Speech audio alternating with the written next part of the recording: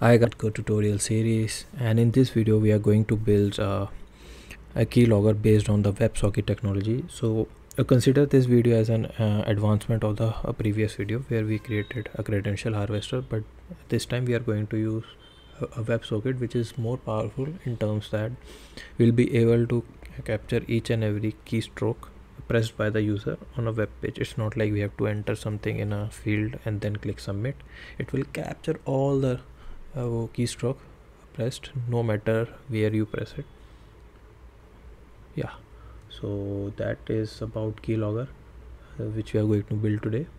So without any further discussion let's jump straight into the code. Let me open vs code here. Mm. so if you see here i've already built few files. Some i've already written some boilerplate code here to save your time here. Uh, well, let me quickly go through them each one by one. So as you can see here this is a simple html uh, page where i have created a form uh, with username and password and a submit button. And if you see carefully i've also included a, a javascript here file here. So what this javascript file is going to do this javascript file is going to establish a websocket connection back to our uh, keylogger server where it's going to send all the keylogs pressed by the client or the our user uh, now to uh, use this. Okay so how does this keylogger which we are going to build will be useful in real life? So let's say you have found a website where there is a cross-site scripting vulnerability or you have some uh, control over that uh, server that you can execute that you can make your client uh, your uh, victim execute some arbitrary javascript. Then in that case you can use this uh, code which we are going to build today. So let's say you are able to make your client execute some uh, javascript. In that case in our case it's a k.js file. And what this js file is do so imagine that uh, that k.js file is this or logger.js so if you read this it's an immediately Im invoked function expression meaning function without any name and you are immediately calling it. So it's an a javascript function. So here we are first creating a connection object. Ignore this for now. The, now this is not the actual file which will be served to our client. Uh, this will be used in our main uh, main.go file where we are going to use this as an js template. And in this js template we are going to replace this uh, curly braces वो double curly braces thing with our actual um, listening address. So for user I mean for the uh, for the victim the actual file will be k.js and to serve this uh, k.js file we are going to use our main.go Uh, uh, program which we are going to build. Apart from that we, we, we need to build another function called uh, okay. So index.js if you see we, we first need to serve this k.js file. Another thing is we need to serve the websocket uh, connection. From this js file if you see we need to serve this slash for ws path as well so two things we are going to do from our main file. So now jumping to the main file here. If you see i've already written some boilerplate code here. Uh, initially we have a package and some import statement. In the var uh, in and here i've declared some uh, variables for you. So the first one is an upgrader object. So this upgrader object is going to be used uh, as soon as we receive the WebSocket connection on slash for WS path uh, we are going to upgrade our connection to WebSocket connection. So initially it will be an HTTP simple HTTP connection. Then we are going to upgrade it to a, WebSocket I mean well, that's how the WebSocket works. So this is for that. And it also accepts a check origin function. So this is used if we want to apply strict policy that don't accept a WebSocket connection from some other origin. But in our case we want to be malicious and uh, this is just for our own purpose. We can say return true for any case but in your, your case if you want uh, to serve from a um, if you want to be your listening server to be very specific ip then you can uh, hard code here.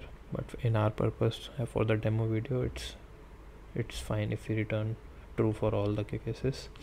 And then we have a listening server which is a simple string a listening address which is a string object string variable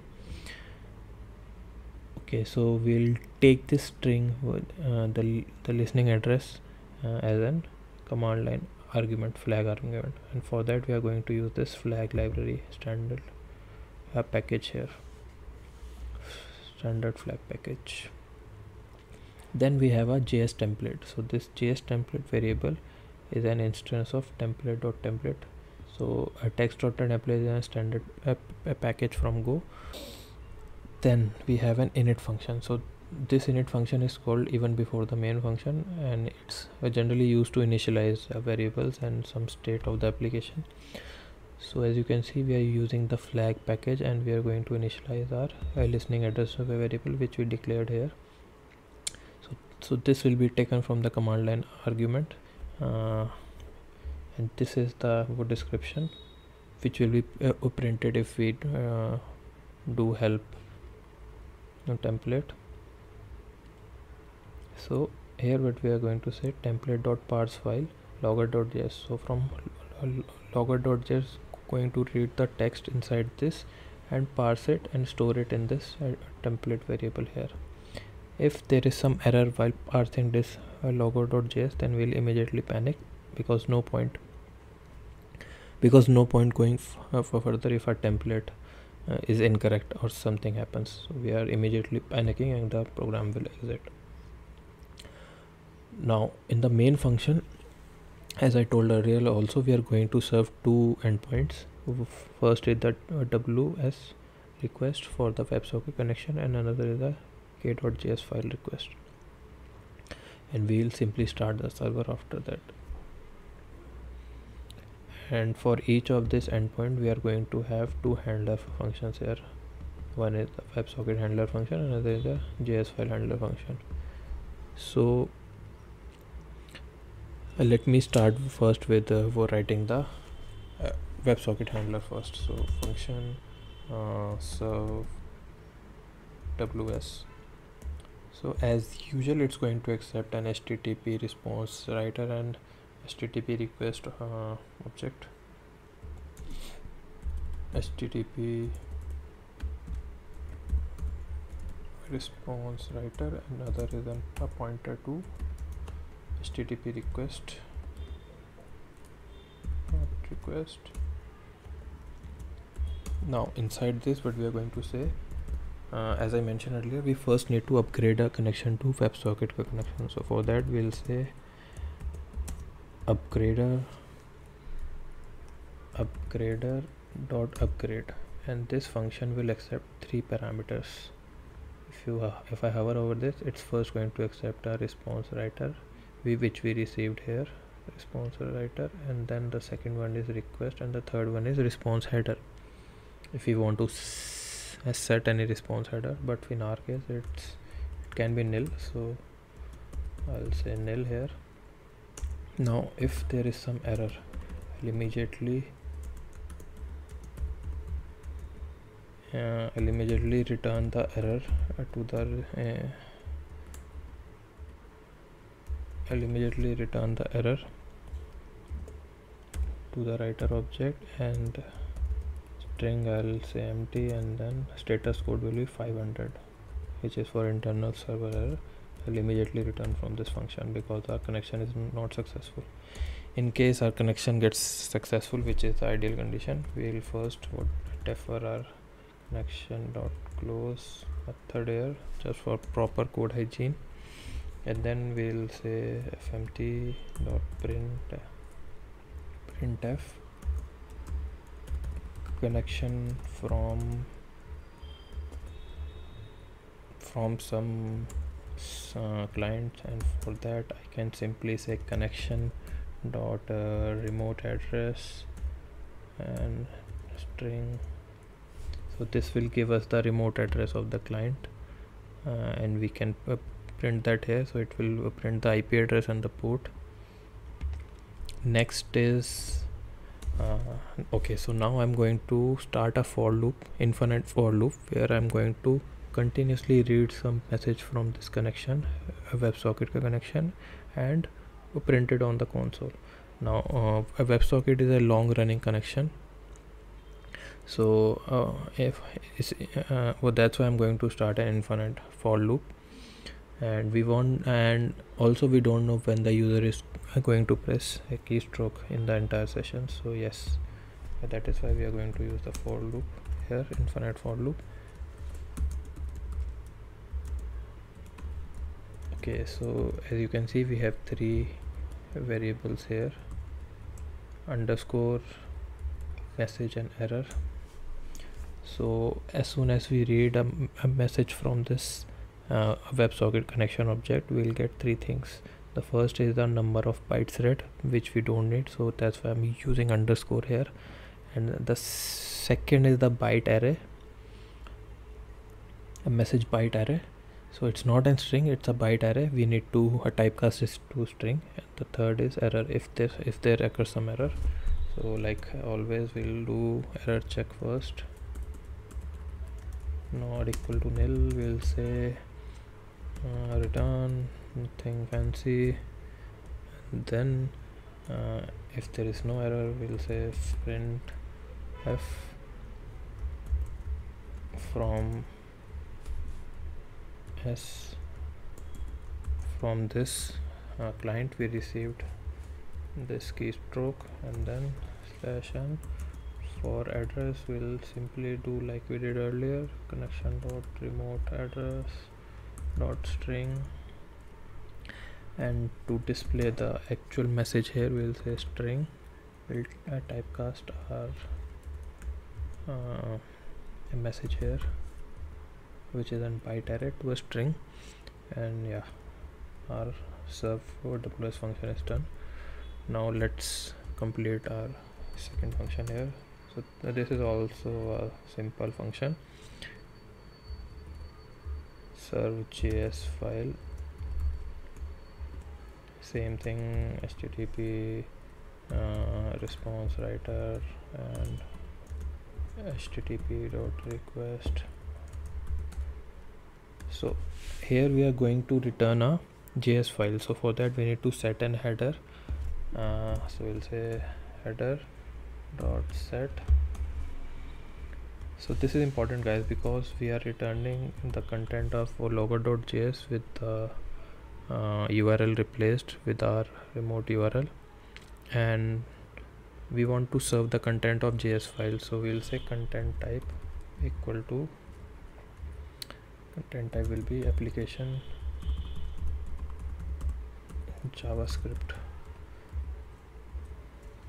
so with this header your browser will be able to recognize that this is a javascript content and uh, accept this as a file javascript file so contact not context it will be content type content type application slash javascript and to return the actual uh, javascript here we'll say js template dot execute. So not error this is execute. So this execute method will accept two things. The first is our uh, writer object. So as you can see if I have a this so the first is an IO writer. In and for this we can pass our HTTP response writer and the second one is the context. So we want to replace the inside logger.js we want to replace this with our actual listening address. So for that we I will pass our listening address variable here.